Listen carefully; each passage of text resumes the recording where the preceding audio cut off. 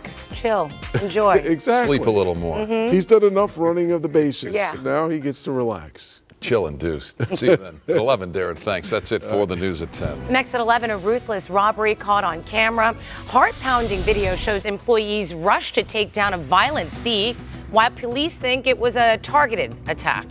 And a bizarre break in and terrifying moments for a local family when they realize an intruder was hiding inside their home for hours.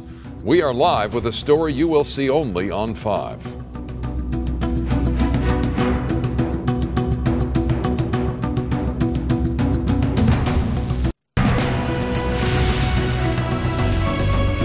When I went in, I turned on the light and I could see her reflection in the mirror.